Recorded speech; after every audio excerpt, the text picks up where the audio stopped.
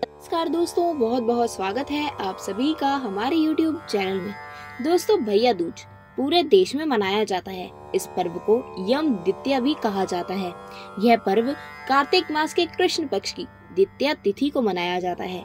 इस दिन बहनें रोली एवं अक्षत से अपने भाइयों को तिलक कर उनके उज्जवल भविष्य के लिए प्रार्थना करती हैं। साथ ही भाई भी अपनी बहन को कुछ खास उपहार या फिर दक्षिणा देते हैं। ज्योतिष शास्त्रों के अनुसार कुछ खास उपायों से आपके भाई पर भी हो सकती है यमराज की कृपा।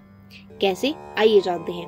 नंबर एक। दोस्तों, ऐसी मान्यता है कि यदि संभव हो तो भाई दूज के दिन भाई बहन को अवश्य ही साथ यमुना स्नान करना चाहिए। यदि संभव ना हो सके तो शुद्ध गंगा जल की छींटे भाई बहन अपने पर डाल सकते हैं।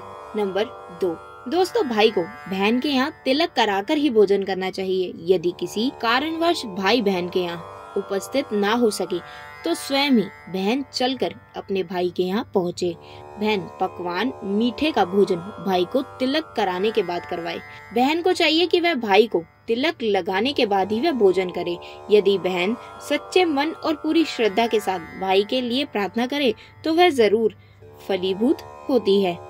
नंबर तीन। दोस्तों, भाई दूज के दिन, किसी भी भूखे व्यक्ति को भोजन कराने से आपके ऊपर यमराज की कृपा होगी। नंबर चार, तिलक करते समय बहनें कहें कि गंगा पूजे यमुना को, यमी पूजे यमराज को, सुभद्रा पूजे कृष्ण को, गंगा यमुना नीर बहे, मेरे भाई की आयु बढ़े। तो दोस्तों, ये थी मेरी आज की वीडियो। उम्मीद करती हूँ मेरी ये जानकारी आपको पसंद आई होगी। तो इस वीडियो को लाइक करें, शेयर करें और हमारे चैनल को सब्सक्राइब करना बिल्कुल भी ना भूलें। फिर मिलूँगी एक न्यू वीडियो के साथ। तब तक के लिए नमस्कार।